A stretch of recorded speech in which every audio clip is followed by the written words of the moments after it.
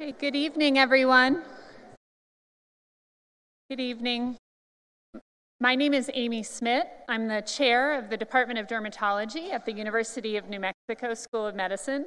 We're so pleased to have you all join us uh, for the evening uh, tonight and the UNM School of Medicine Community Lecture. And we have such a fabulous turnout for the event, and hopefully more people find us after they voted in the election. We sort of forgot that that was today. We're so grateful to Albuquerque Academy for continuing to host these lectures and partnering with the School of Medicine for the last four years to bring this type of education to the community. We also wanted to thank specifically Los Poblanos Inn and Cultural Center for the skincare products they provided, and to Array Biopharma, who donated the No One Fights Alone bracelets. Uh, they are a, a, a pharmaceutical company uh, producing uh, treatments for advanced skin cancers. I also wanted to bring attention to upcoming dermatology related community, community events, including skin cancer screenings that we've been sponsoring uh, by our department in conjunction with the UNM Comprehensive Cancer Center, the Shannon Shaw Memorial Fund, and the American Academy of Dermatology. The next one here in Albuquerque will be in the spring and May, and we really hope to continue to grow this program every year to bring awareness and support to this important effort. So tonight you'll be hearing from three of our fabulous faculty members, Drs. Nayara Barbosa, Marianne Berwick, and John Durkin, and we'll have plenty of time at the end for discussion, so please do write down any questions that you might have and pass them to the staff um, during or after the talk. But first, it's my pleasure and honor to introduce a true friend to our department, Ellen King, who I hope will share with you a bit why this topic is so personally significant to her and why she's been so dedicated to helping us share information and promote awareness on this topic in New Mexico. Ellen?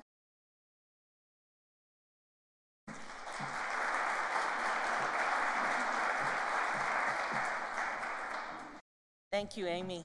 Uh, the, the reason that I'm here tonight and was invited tonight is because, quite literally, a few months shy of 20 years ago, my hairdresser literally saved my life. She was doing my hair one day and she noticed that a mole on the top of my head, a mole that I didn't even know I had, had grown, changed shape, and just basically looked ugly. She informed me of that and she said, Ellen, you need to go see a doctor. So I was like, yeah, okay, I'll go see a doctor.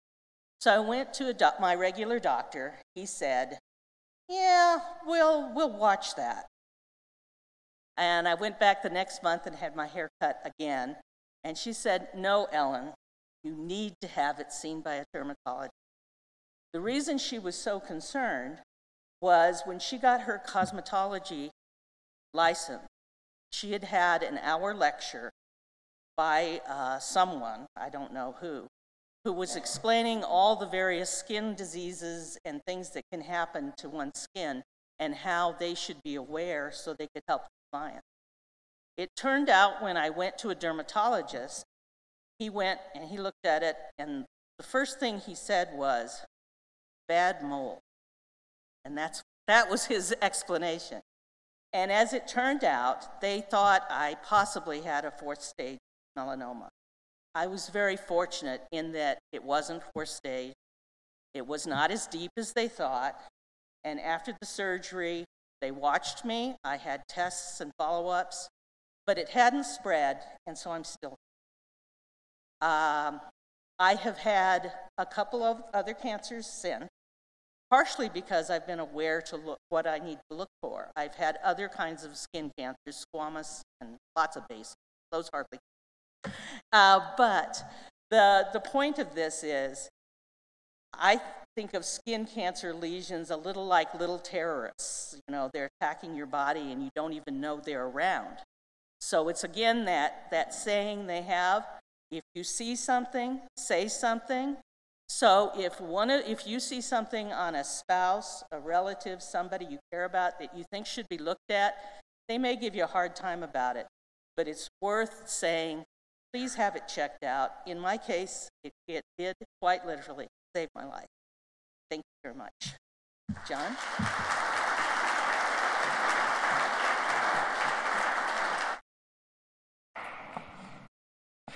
Hello, everyone. My name is Nayara Barbosa. I'm a dermatologist here at the Department of Dermatology at UNM.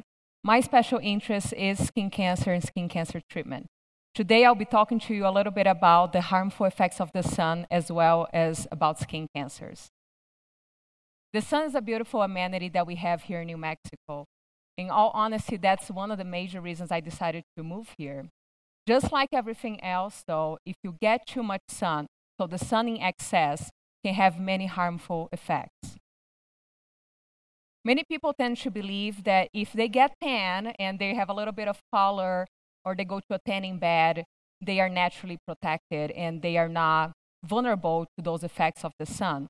That is not completely true. If you are someone who gets tan, that means that you have some pigment cells that can protect you. So when you go outside, those cells start to produce pigment and that protects your skin and you get a little bit brown. But in the view of a dermatologist, or in my view especially, a tanning is the same as a sunburn.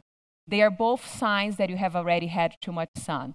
When you're tanning, your body's telling you, stop, I'm trying to protect you and I'm creating this pigment. And when you don't have that pigment to create, you just basically burn. But they're both sun damage.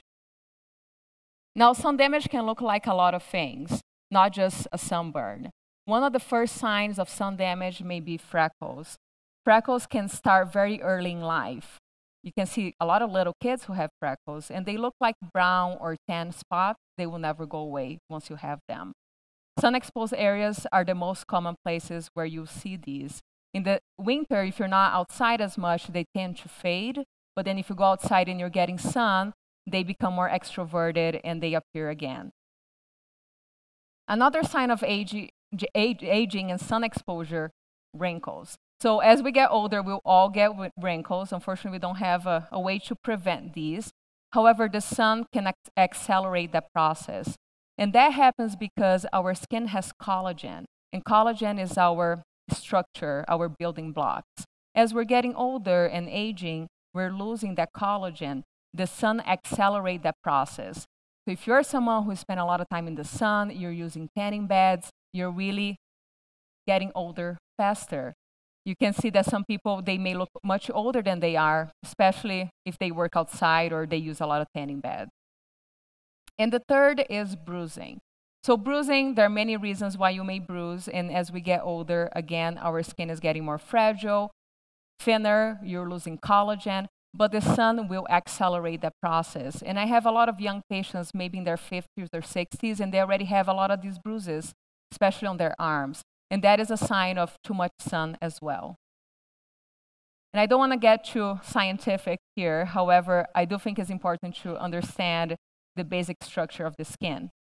And this picture here to your right, that's what we see when we look under the microscope. The epidermis is the top layer of the skin. That's the surface. And the dermis is the middle portion of the skin where all those building blocks are. Is the bulk of your skin. You have your collagen, your hair follicles, sweat glands, oil glands. And the top layer of the skin, the epidermis, is where most of the processes that I'll be talking about, including the skin cancers, will be happening, or at least starting. Here you have all the cells that can cause damage. You have basal cells that can cause basal cell carcinoma. You have keratinocytes that can cause squamous cell carcinoma. And you have melanocytes, and they can cause melanoma. And here will be the collagen. So as we're getting older, this dermis is becoming more fragile and smaller. And the cancers, when they start here at the surface, eventually they will go down. When it's just at the surface, very easy to treat. We can even treat sometimes with a cream or lasers. But when they become deeper, you may need surgery or more aggressive treatment. Actinic keratosis are considered precancer lesions. If you're over age of 60 and has been outside, you probably will have those or have those. They look like dry skin almost sandpaper. You try to use lotion, Vaseline, coconut oil, whatever moisturizer cream you want to use, and that will not go away. Now, they're most commonly seen in sun exposed areas, so the face, back of your hands, chest. If you're someone who worked outside and didn't wear a shirt, you may have it all over your trunk. And they're very easy to treat. The reason we want to treat these is with time, they can become skin cancer. The chance is about 5 to 8% a year, but every year accumulates. So with time, if you have one of these and you're not treating them, they will become a skin cancer. The most common treatment is liquid nitrogen, and I call this the dermatologist's best friend. If you have been to the dermatologist's office, you probably have, you, you have been attacked by this little nitrogen gun. It's liquid, liquid nitrogen. And what that will do is we're burning the surface of the skin. So the precancer, the actinic keratosis is happening right at the surface of the skin, so we can treat that very easily. We create a very superficial burn. The skin will peel off, new skin will come in, and it will be very healthy so all that precancer will be treated. Now, if you have many of those precancer lesions, it's hard to spray each one of them. So for those cases, we like to use either a cream, which is a chemotherapy cream, or we use a light treatment, and those will do the same thing as the liquid nitrogen. They will irritate the top layer of the skin, so that skin will peel off almost like a peel. New skin will come in, and the precancers are gone. So very simple. And just to remind you, if you have damaged skin, eventually that will become precancer, and eventually those will become skin cancer. And SCC stands for squamous cell carcinoma, and I'll be talking about that in a minute. When they first start, a lot of times they may be squamous cell in situ. And in situ means the surface of the skin, it's just on the epidermis. When they are not treated in a timely manner, they become more aggressive and they become invasive, meaning they're going deeper and now they are in the dermis. And we do not want to get to this point, so we want you to be very early. The skin fillings.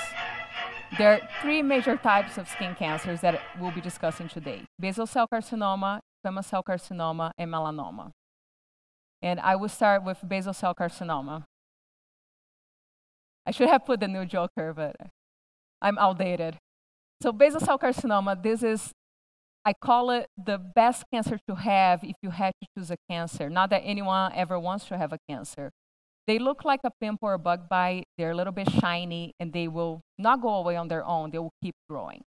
Now, I call them lazy cancers, and the reason is because they tend to cause trouble, but just locally. They're not cancers that will be traveling and going inside of your body, but if you leave them there with time, They'll continue to grow, they will be sore, tender, they can bleed.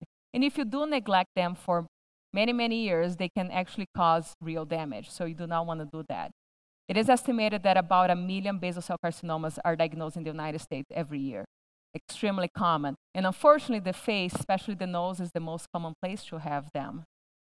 If they're found early, we can treat them. The cure rate is 99%, so very good cure rate for a cancer. The second cancer is squamous cell carcinoma. And squamous cell carcinoma is just one step above basal cell carcinoma. And the reason is they can grow a little bit faster and they can misbehave. And these ones, if you do neglect them with time, they can grow and they can actually go into lymph node and have metastasis.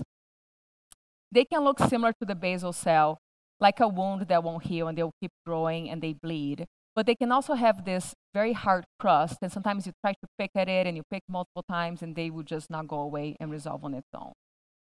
These are some photos of some of my patients here, and they are pretty good sized squamous cell carcinomas, and they grew very fast.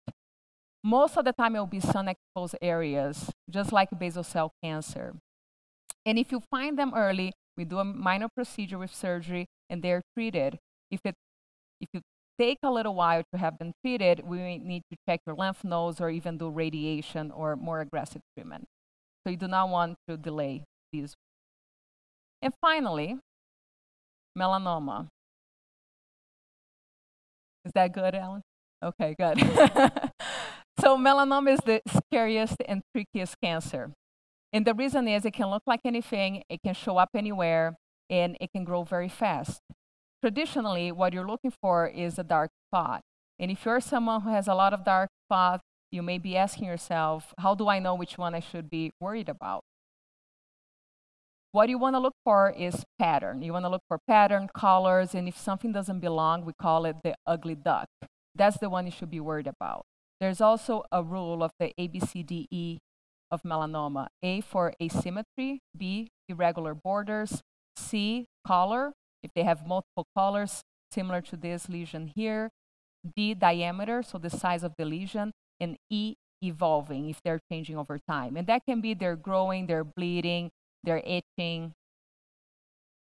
And melanoma is tricky, as I told you, and they can look like anything. For example, right in here, this is a melanoma, and it's called amelanotic melanoma, meaning does not have pigment. And I just told you it's usually a brown spot, but in these cases, they are pink, and they may look like a patch of eczema or a scratch.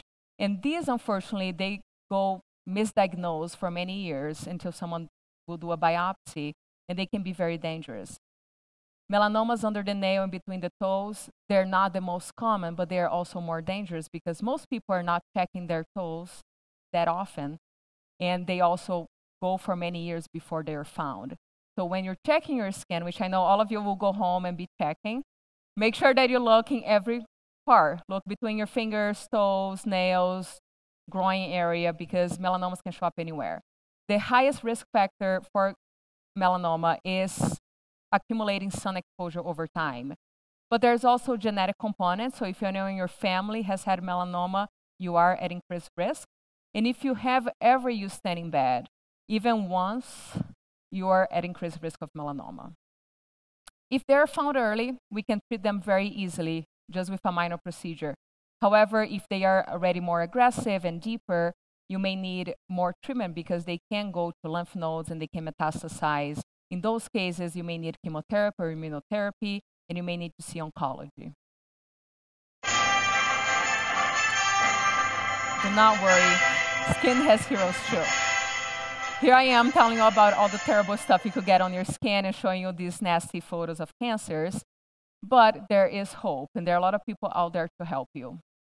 First line will be your doctors, your healthcare provider, your dermatologist. I know it's hard in New Mexico, there's a shortage of specialists, especially dermatologists. However, the, the primary cares, a lot of the primary cares feel very comfortable checking the skin or doing a biopsy and triaging if you have any concerns. Our department is also trying to increase our outreach and accommodate more patients, especially if you have a concern for skin cancers. And don't forget other people who are in contact with your skin, your massage therapist, your hairdresser, as Alan shared with us, they are looking at your skin, and if they tell you there's something looking funny, do not ignore. Especially if they're seeing you over time and they notice that that is, that is changing. And lastly, your family. I tend to tell my patients that they need to have each other's back, meaning if you have a partner, a significant other, someone you're close to and you trust, check each other's back. And if they see anything that it looks concerning, always better to be safe than sorry. So then go see a, a dermatologist or your primary care to have a biopsy. And lastly, I want to talk a little bit about treatment. I told you that some of those cancers can be treated very easily with a minor procedure. And what does a minor procedure really mean? So these are outpatient procedures, meaning you come to the clinic, you are awake for your surgery. We usually use local anesthetic, which is a needle poke and it burns a little bit. You don't need to go to sleep or get general sedation. The procedure may take an hour, a couple hours. You get some stitches.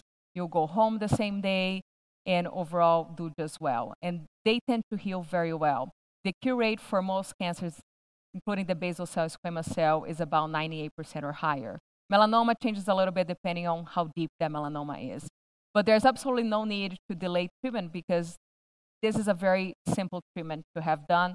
And very few cancers can be treated. Skin cancers can be treated if you find them early.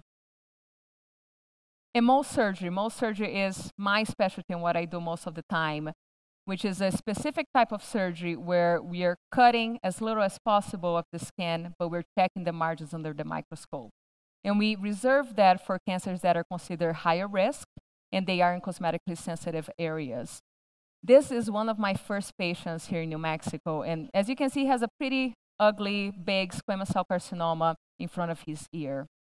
I wanted to show you this because this red line shows how big the cancer actually was. So as we're doing the Mohs surgery, I kept seeing cancer and I had to cut this big to remove the cancer. So a lot of times what you see on your skin may not be the entire story. It may just be that tip of the iceberg.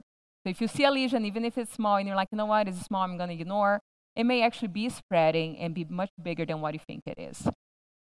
And then I added this photo. This is the same patient three months after the surgery. As you can see, he looked really good. I have had many patients here in New Mexico who they delay their treatment or they do not want to be treated because they're worried about scar. And they are worried because it is in a sensitive area. Most of the time, those cancers will come in sun exposed areas, but they tend to heal very well. So, what I want you to remember go home, check your scan, and do that maybe once a month or so. If you find anything you're concerned about, please have that checked. And if it is a skin cancer, have them treated as soon as possible. Thank you.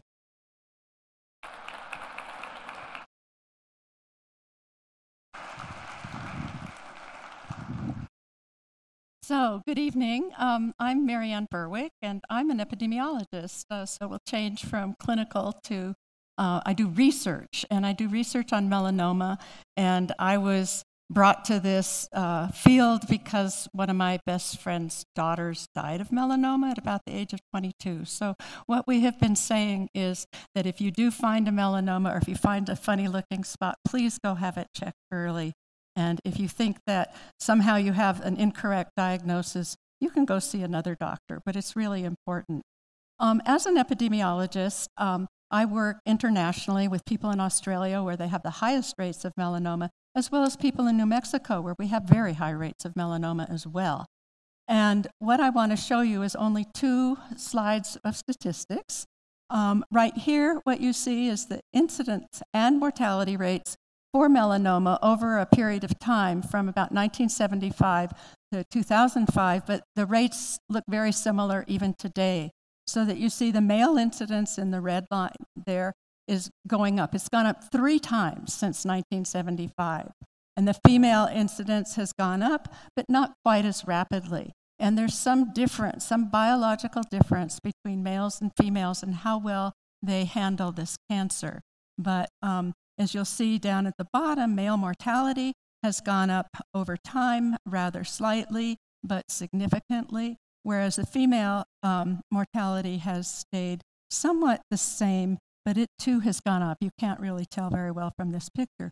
But there's good news here.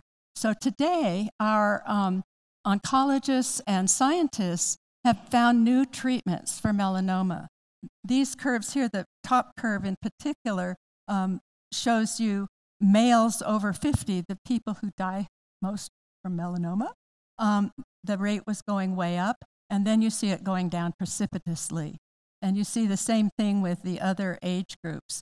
And this is due to the introduction of the new immunotherapies and targeted therapies. And they're using immunotherapy for many cancers, but melanoma is really the poster child, where we started discovering that um, you can treat the immune cells, not the cancer itself and make them react against the cancer that's going on. So um, we're very, very hopeful that this will continue. I'm sure it will, and um, that everybody will uh, have benefit from this.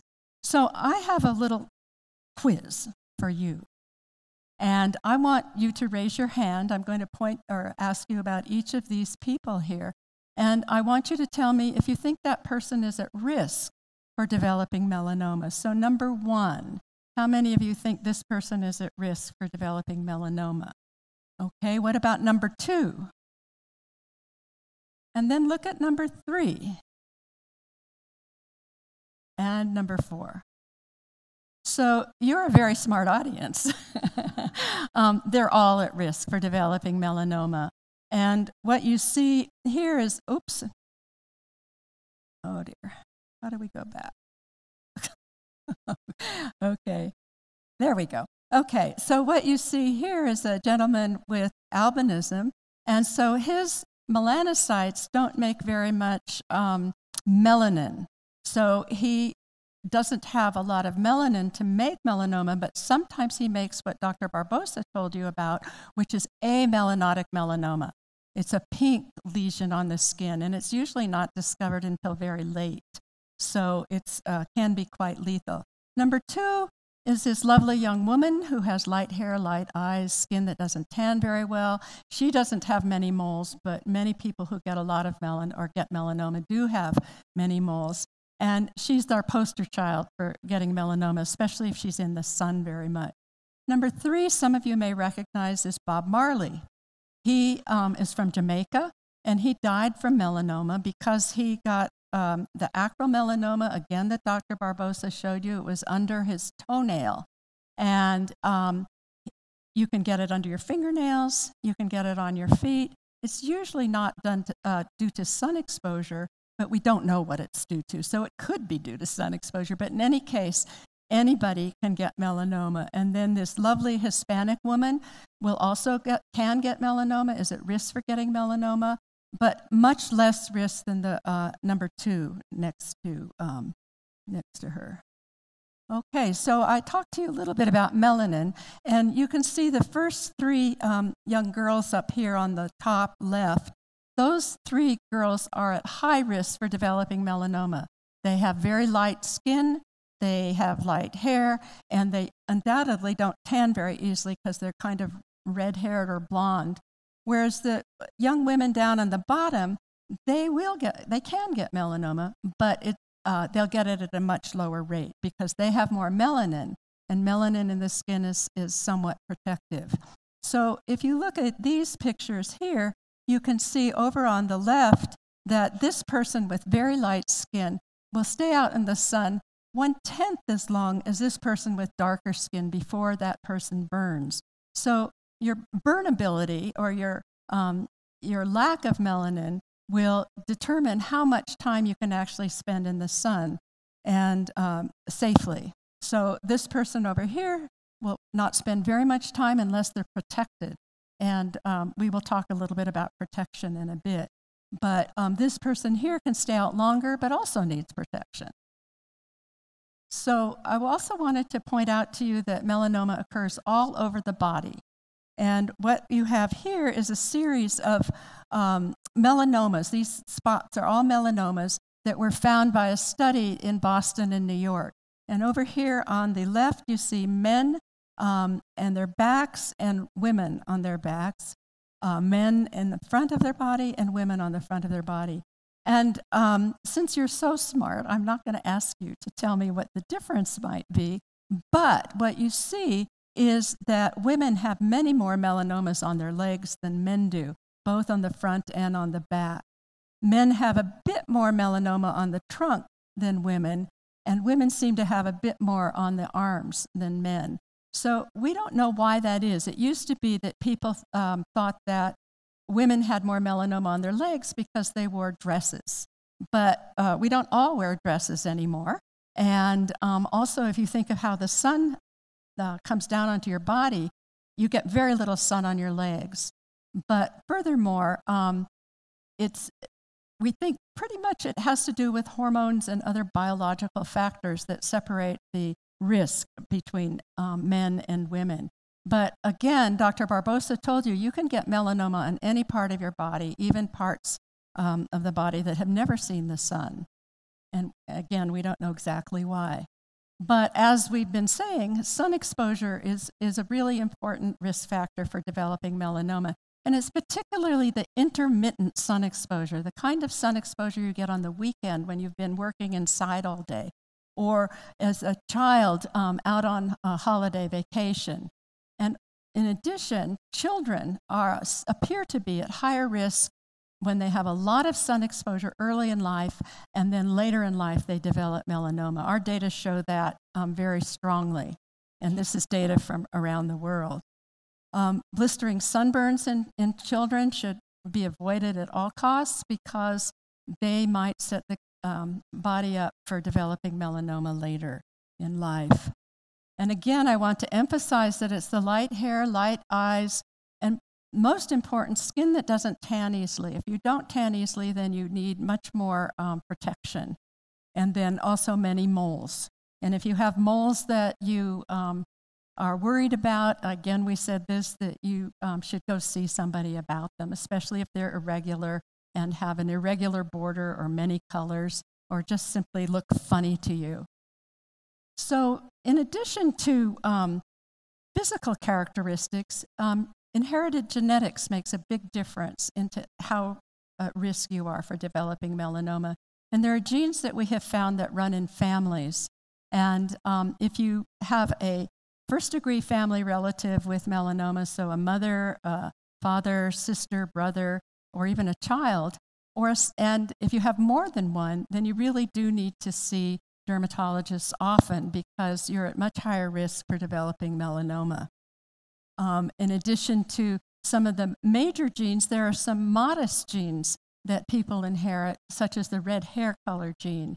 Um, and this woman is being very safe. She's staying under a tree in the shade. But um, you can have a red hair color gene and be dark haired like I used to be. and, uh, um, and also tan easily like I do. But um, you can um, still be at higher risk for melanoma if you have this particular uh, variation in your red hair color gene. So this young girl is one of those people. She could be at high risk for developing melanoma, not only if she has a red hair color gene, but there are other genes that I won't bore you with, but that they are important among people with dark hair and dark eyes, and they can lead to melanoma. And we're finding out more and more about the genetics every day, and uh, it's pretty exciting because that's an area I work in. So, not only do we worry about genetics and your phenotype, but it's happened, as you know, over time that um, people are wearing fewer clothes now than they used to when they go to the beach. Um, if you see um, around the early 1900s, people used to go to the beach very well covered. They'd wear hats, they'd wear long stockings sometimes, but they'd wear a fair number of clothes. Whereas now, if you go to many beaches, not just um, the Riviera, uh, but um, many beaches, you'll find people wearing next to nothing. And in Europe, some places, um, not almost nothing. In any case, in any case, um, this puts you at high risk for developing melanoma. And um, we have published papers on this, and uh, it, it uh, really makes a difference. But there's one group of people who is not at higher risk for developing melanoma, and that's outdoor workers. It doesn't mean they don't get melanoma, but they're not at higher risk, such as people who don't, tan, who, uh, don't tan well. So it may be because they're wearing clothes out in the sun. It may be because they have adapted to the sun because they're working outside all the time. Or it may simply be that people who um, are at risk, who don't tan easily, stay away from these kind of jobs. So we don't know exactly what it is, but it's an interesting phenomenon and probably would shed some light on our understanding of who develops melanoma and why.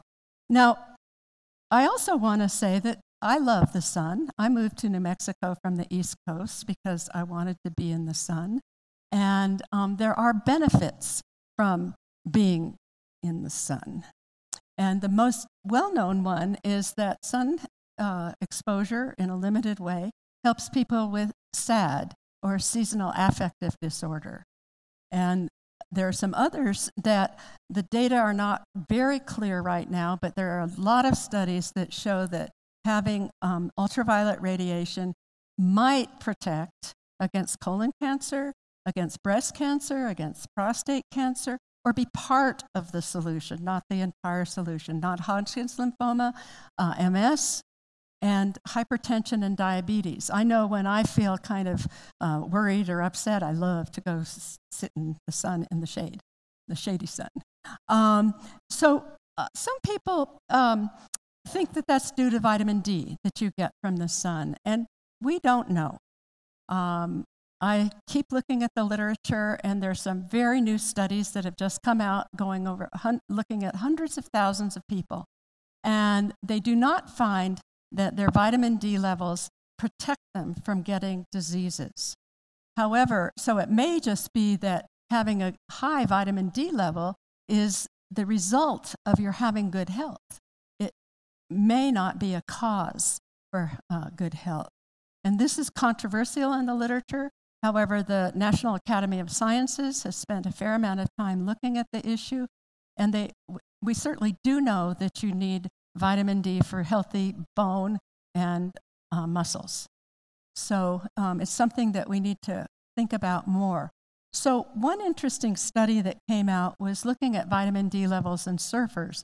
Now, one of the part of the uh, problem, the controversy with vitamin D, knowing what you should or shouldn't have, is that some people think you need fairly high levels, like 30 uh, nanograms per milliliter. So when you go to the doctor, they say your vitamin D level is good, or they'll say no, it's too low. So it depends on who they're following, whether they're following um, the um, the National Academy of Sciences or some other group. And in this particular um, graph that I'm showing, um, you can see that if you say you need 30 nanograms per microliter of vitamin D to be healthy, um, there are very less than half of the surfers in this study were healthy. And that's kind of hard to believe. Here they are in Hawaii at the equator. They're outside in the sun quite a bit, and sometimes they're wearing wetsuits, but not always. So, however, if you look at these two bars right here, this is 20 nanograms per milliliter. And if that's what the National Academy of Sciences recommends. So if you have 20 nanograms per milliliter, they say that's a healthy level as far as they can tell by the data. And if you look here, you'll see that almost all the surfers had at least 20 nanograms per milliliter. So, as I said, this is controversial, and I just want to share with you that um, it's an important thing to be following and thinking about. So, how do you get vitamin D from the sun? Do you just lie out and take it in as much as possible? Um, most experts say that if you get three times a week, if you get 15 minutes of sun exposure on your face, your arms, maybe your legs, that that's adequate, particularly in our environment here in New Mexico where we um, are at 34 degrees latitude and we're at high altitude. So we can probably even do with less sun exposure to increase our vitamin D levels. And basically, um, my message is that you should enjoy the sun at the same time as protecting yourself. So thank you very much.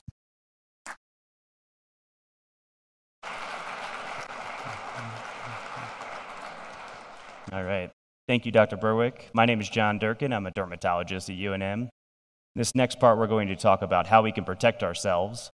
I'm just going to start off with a short video from the American Academy of Dermatology. I use protection. I use protection. I always use protection. I'm using protection right now.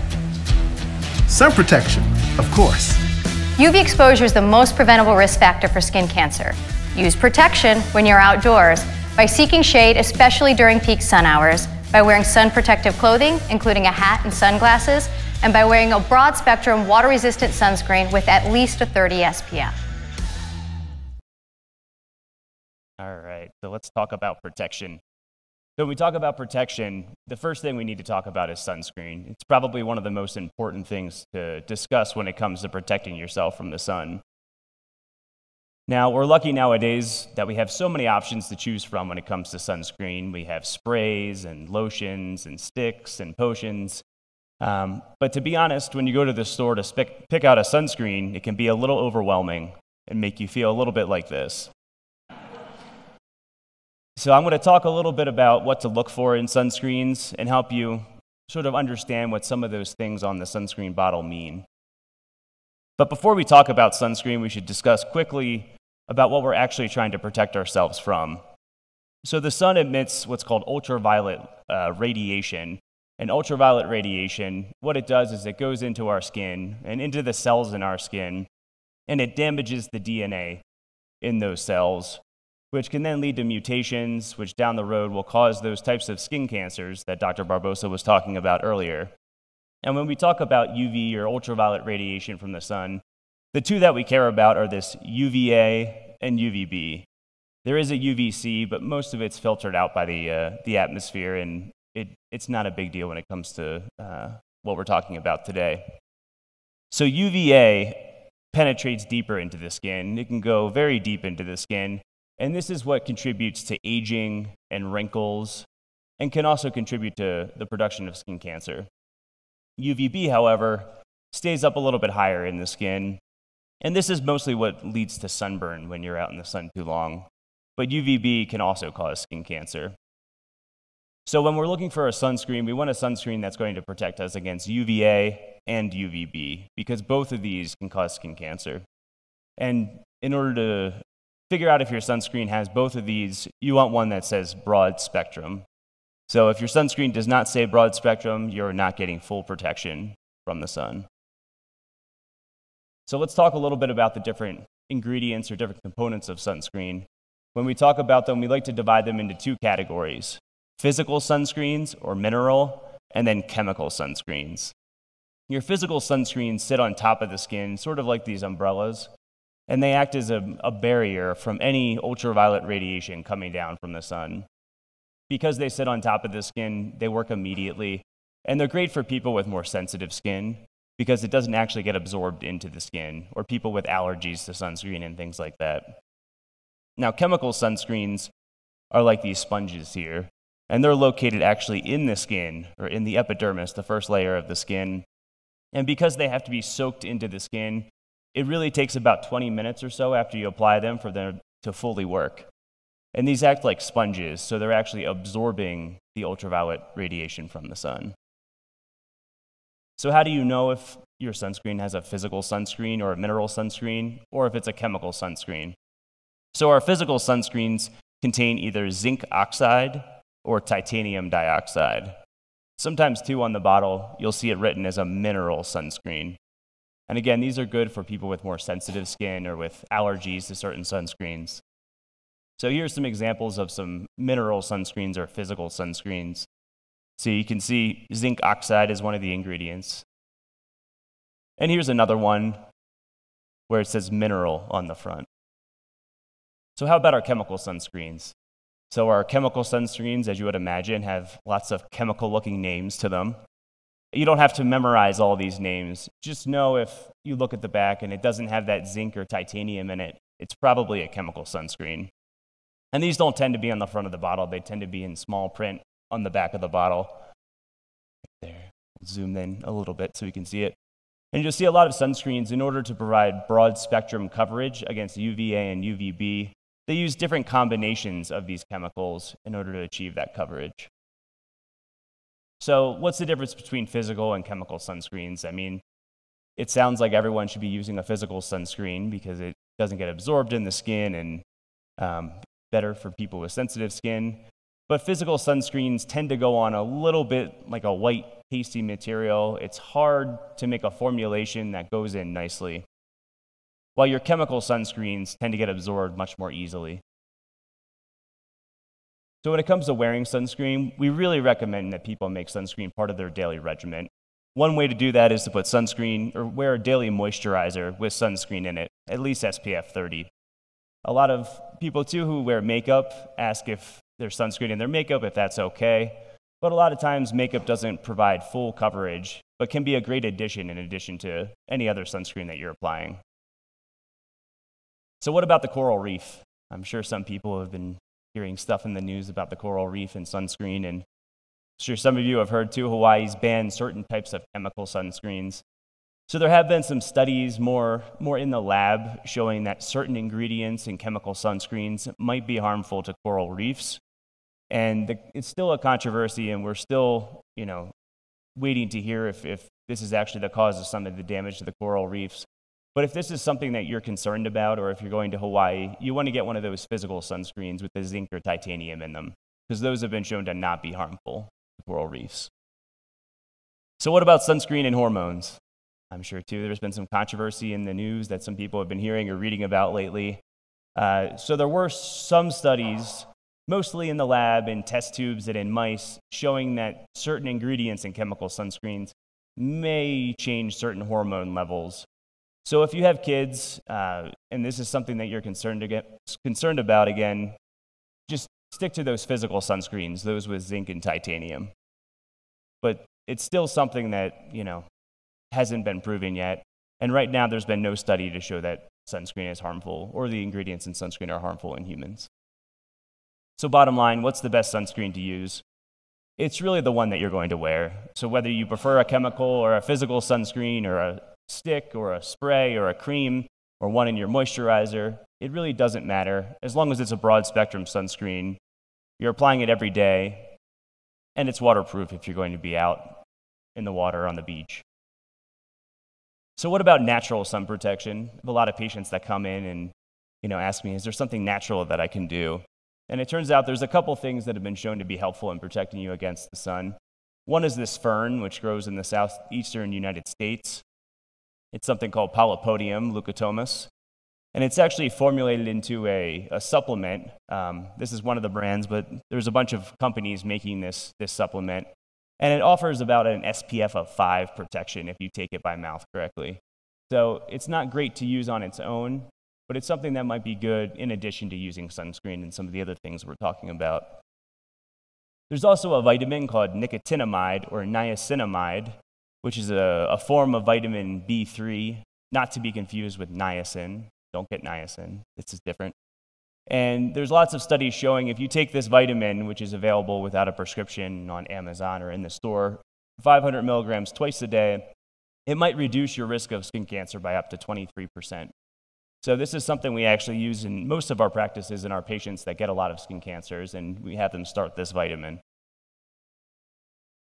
So, another way to protect yourself is by seeking shade, which we don't have a lot of here in New Mexico, but um, installing some shade sails at home or at schools can be helpful as well, especially during the hours of 10 a.m. and 2 p.m. when the sun's at its strongest. And then wearing sun protective clothing. I'm not saying you need to go out and look like this person. If you go online now, there's lots of companies making more stylish, more fashionable sun protective clothing. So if you're hiking, you know, a wide brim hat, a long sleeve shirt, and I like to do this a lot too because it minimizes the amount of sunscreen that you have to apply and then reapply. And then another way to protect yourself, like we've been talking about multiple times tonight, like Dr. Barbosa and Dr. Berwick mentioned, is it's a great idea to really keep track of your own skin, to be aware of your skin, to deliberately every month or so take a look at your skin and see is there anything new, is there anything changing.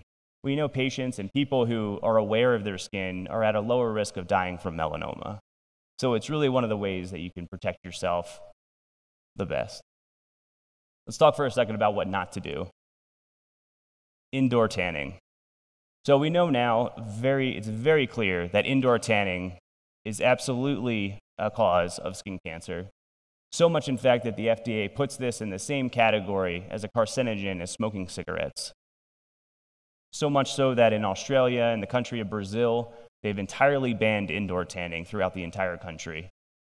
Unfortunately, here in New Mexico, it is still legal for minors under the age of 18 to do indoor tanning, and that's something that we're diligently working on changing. So don't do indoor tanning.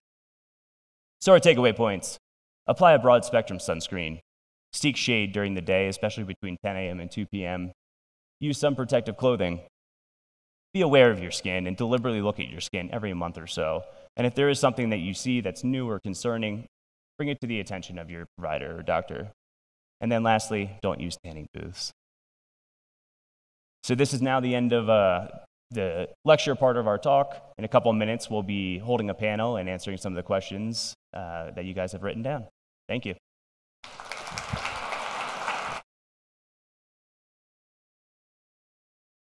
Right, is this on?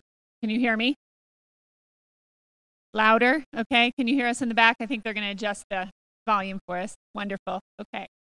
So we have lots of questions, so hopefully we'll have time to get through all of them and um, but thank you so much for the engagement. Uh, so I think we'll start with the topic of sunscreens. Um, so our first question is, when should you use SPF above 50? Because there are some that are 100 or more.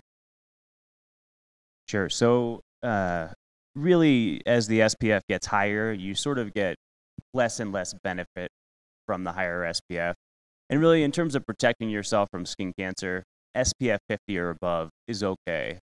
But there are a lot of studies showing if you want to protect yourself from aging and the effect from the sun from aging, using a higher SPF or SPF 100, it might have some benefit. Uh, what is the best protection for one's lip? So, using a chapstick, or there are certain sunscreens that are available for the lips or lip balms that have SPF in them. I apply sunscreen to my face every morning when I wash my face. Do I need to reapply it if I don't sweat? Really, the recommendation is to reapply sunscreen every couple of hours. Um, I mean, the more you're in the water or wiping your face or sweating, the more of that sunscreen is going to get washed away. But you probably should reapply every couple of hours. Should sunscreen be rubbed in or left on as a white film? you can you can rub it in as, as much as you can, although some formulations of sunscreen are harder to rub in than others, but it'll work just as effectively if you rub it in. Are you feeling on the spot? Should I switch A topics? little bit. well, we're almost done with the sunscreen ones. Is PABA a chemical sunscreen and how effective is it? Uh, so it, it is a chemical sunscreen, and it's effective in helping to provide that broad spectrum coverage against the UVA and the UVB. So it is a common ingredient in the chemical sunscreen. Do you have any concerns about titanium dioxide and causing dementia? No. Is it true that sunscreen degrades and you should get fresh supplies frequently? Um, especially the chemical sunscreens, yes. Especially if you leave them out in, in high temperatures and the heat. Um, the zinc and titanium sunscreens don't tend to break down as much. And can you talk about the ingredient Mexoryl? Is that the one in Europe? Yeah. I believe it's a, it's a sunscreen ingredient in, in Europe that's not FDA approved in the United States, um, but it's a component in a lot of sunscreens internationally. Right, broad spectrum chemical Right. sunscreen, right.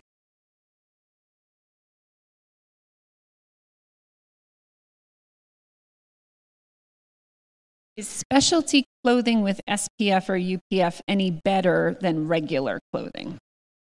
So that's a great question. So it turns out uh, UPF or the you know sun protective clothing isn't regulated like sunscreen through the FDA.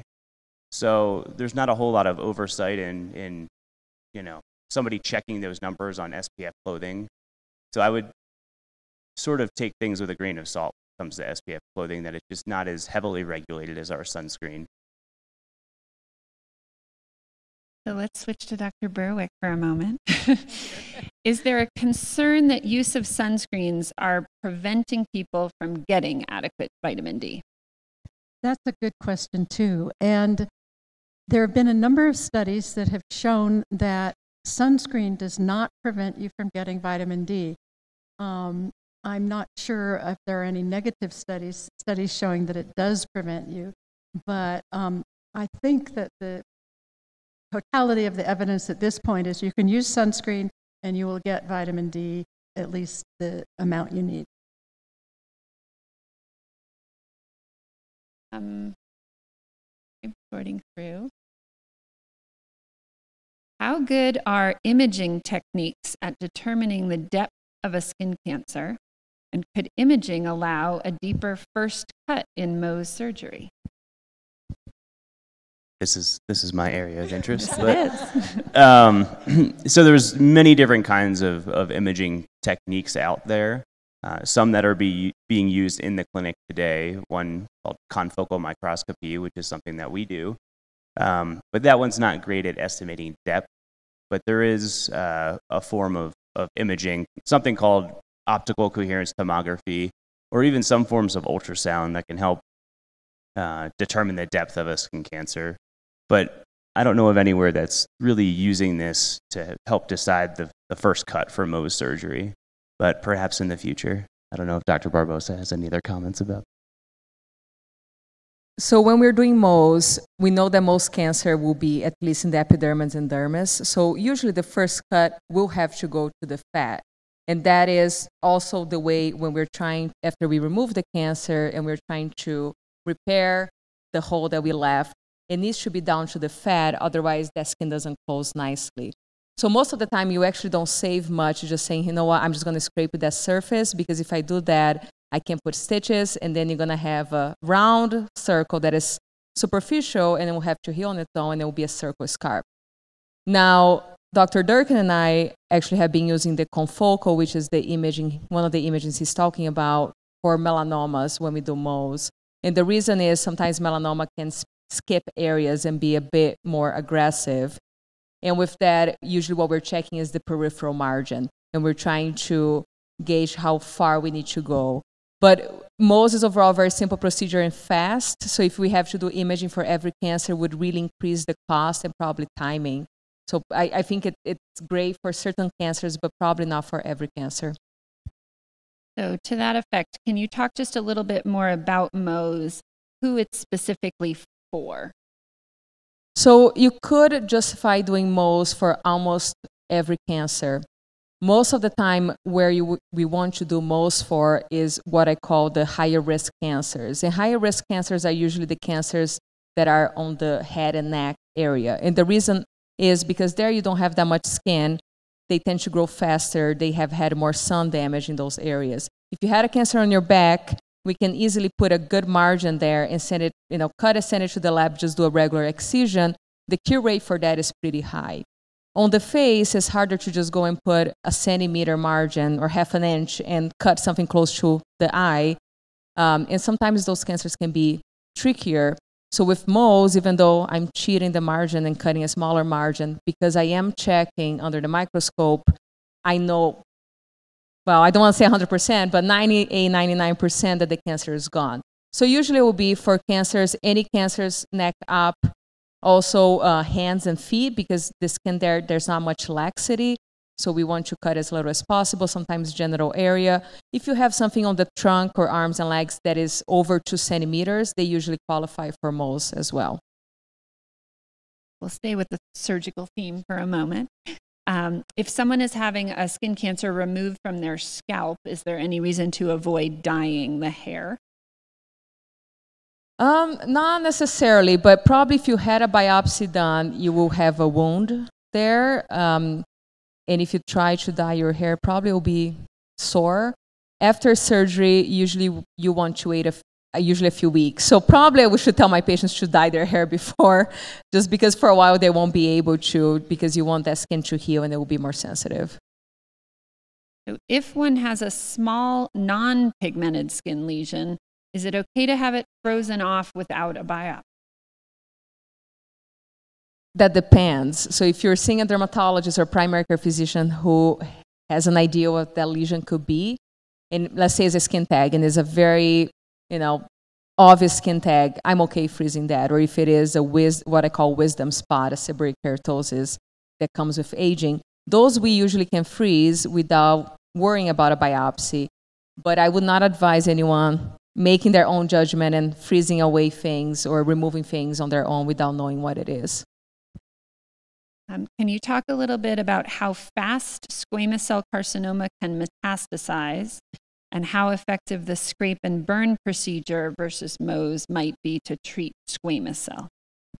So squamous cell, if it's a squamous cell carcinoma in situ, again, just that top layer of the skin, the epidermis, we can treat with electrodesiccation curettage, which is the scraping and burning. We can also use the 5-fluorouracil cream, which is the chemotherapy cream. And the cure rate with the scraping and burning may be about 95%, depending on where that cancer is located and how big it is. It is operator dependent because when we're scraping and burning, we're not sending a sample to the lab. Now, invasive squamous cell carcinoma, sometimes I do scraping and burning. For example, if you have a bunch of little ones on your legs and I don't think they are very high risk, I may actually do a scraping and burning procedure. Now, for um, surgery, if it is a cancer that is deeper, you definitely want to have surgery. I don't know how fast they grow. It really depends. Some squamous cell may be very indolent and they may take a while to grow. Some, I know patients tell me, sometimes I don't believe them, but they tell me, oh, this showed up two weeks ago and they can grow that fast and it, it really depends on the subtype of the cancer can you uh, discuss 5-fluorouracil versus imiquimod, the topical managements we were discussing, when you might use one versus the other? So 5-fluorouracil, in my opinion, is the best cream to use because I think it is more aggressive. And to me, the more aggressive you are, the better. So 5-fluorouracil is used a lot for actinic keratosis. It is also FDA approved for squamous cell carcinoma in situ, which is that very early squamous cell carcinoma. Some people also use for superficial basal cell carcinoma, although the cure rate is not as good. Imiquimod Aldara. It can work for superficial basal cell carcinomas, and I believe is FDA approved for that too, and for actinic keratosis. I just don't think it works as good. They have done studies that actually show for precancers they work very similarly. I think for superficial skin cancers, 5-fluorouracil work, would work better. Switching to some medication questions. Does niacinamide interact with any other medications and or is there any time it's contraindicated? No, nothing that comes to mind, but you know, before you started, if you are taking other medications, I just recommend that you talk to your your doctor or pharmacist just to double check. And how effective are antioxidants? Are there any recommended antioxidants or recommended doses?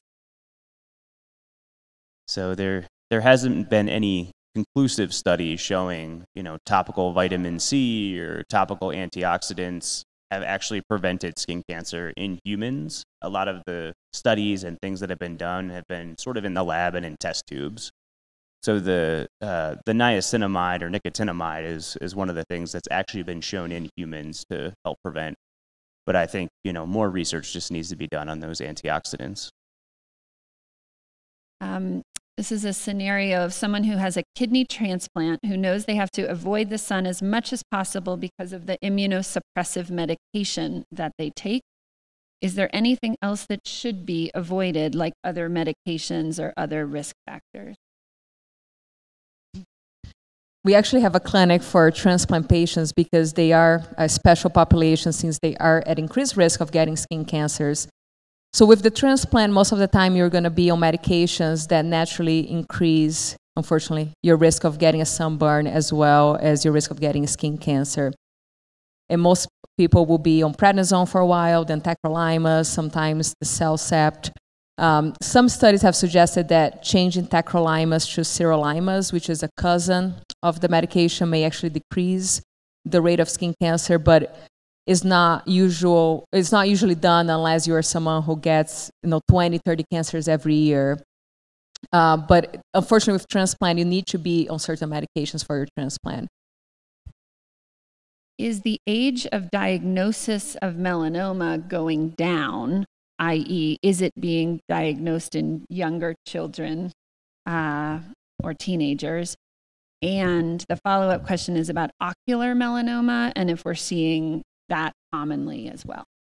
So the age of diagnosis is going up for melanoma. Um, about um, 25 years ago, the median age was 52. Now it's about 62.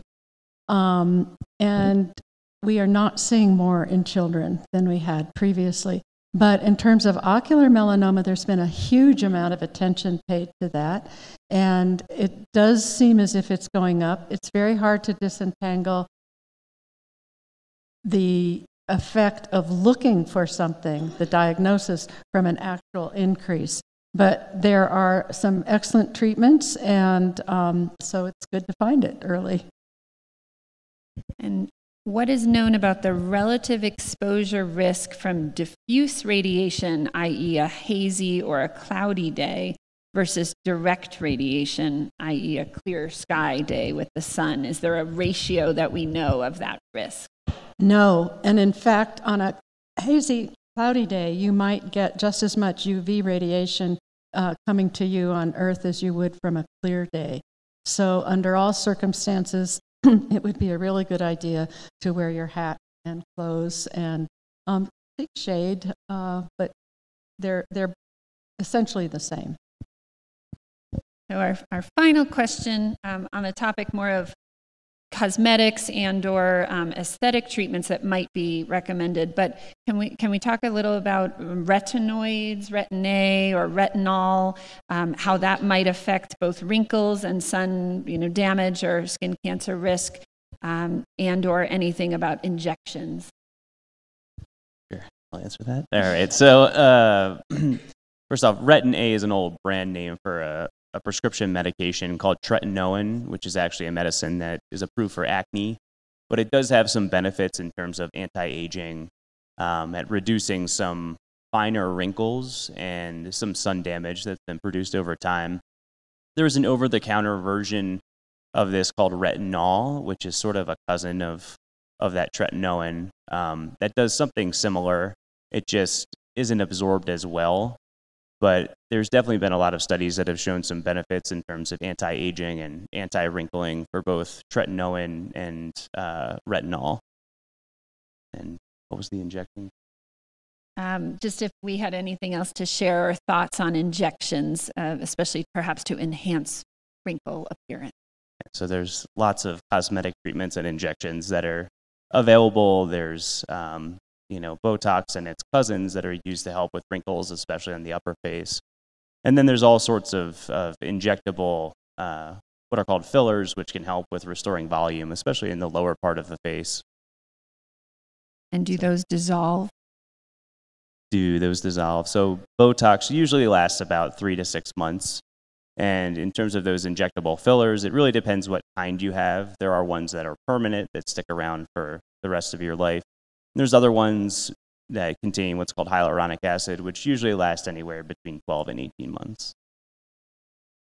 Thank you all for those really amazing questions. Um, thank you, and for your attendance.